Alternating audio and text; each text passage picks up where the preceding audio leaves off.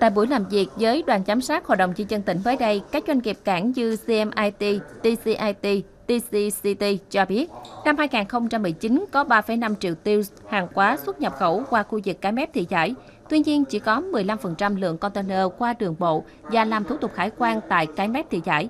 Phần lớn là dùng xà lan trung chuyển hàng hóa về thành phố Hồ Chí Minh để làm thủ tục hải quan. Nguyên nhân là để giảm chi phí vận chuyển so với đường bộ. Cụ thể, nếu dùng xà lan chuyển hàng từ cái mép về Cát Lái thì chỉ tốn chi phí 27 đô la Mỹ một tiêu, tương đương 600.000 đồng. Trong khi đó, nếu vận chuyển bằng đường bộ khoảng hơn 3 triệu đồng một tiêu, tức gấp 5 lần.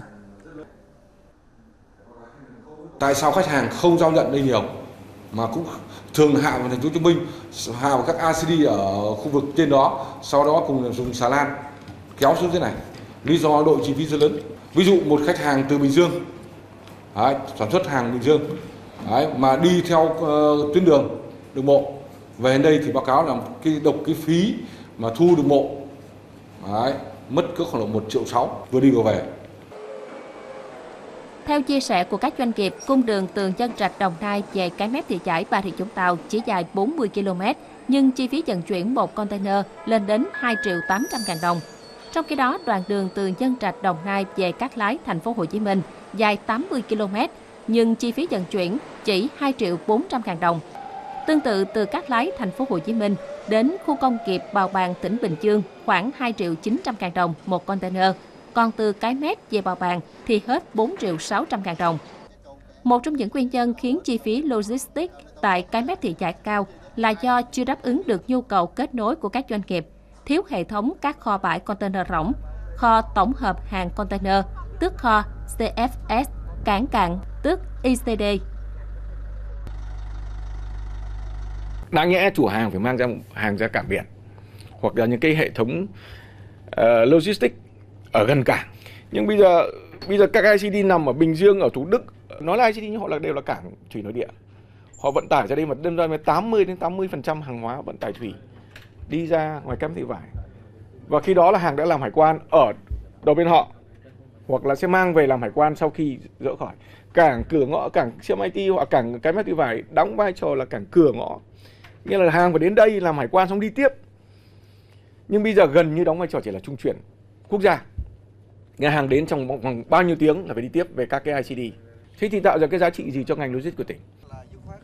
Chi phí logistics chiếm 21% trong giá trị hàng hóa, trong đó giảm chi phí logistics là một trong những vấn đề được tỉnh đặc biệt quan tâm nhằm tăng hiệu suất khai thác cảng, tăng nguồn thu cho tỉnh từ cảng biển.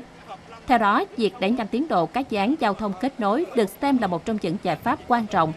Khi hạ tầng giao thông kết nối được hoàn thiện, sẽ giúp hạ giá thành vận chuyển, hạ giá thành logistics, tăng sức cạnh tranh của hàng hóa Việt Nam so với quốc tế.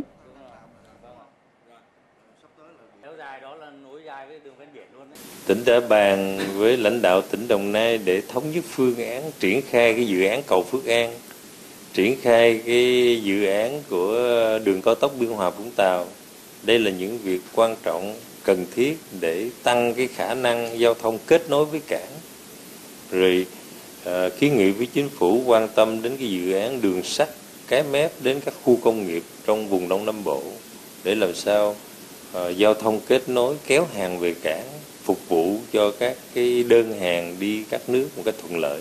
Vì đây là ờ, dự án ờ, nhóm A phải được chính phủ phê duyệt thì các thủ tục ờ, đang trình các bộ và chính phủ để sớm phê duyệt và và tôi đang nỗ lực để làm sao cuối năm 2020 phải khởi công.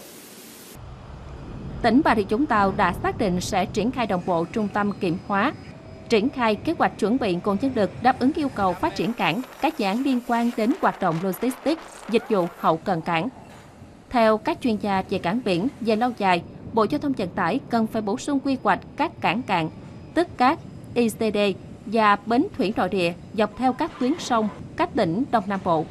Song song với việc nâng cấp tỉnh không các cầu đường bộ để tăng cường vận chuyển thủy kết nối từ chân hàng với cụm cảng biển nhóm 5.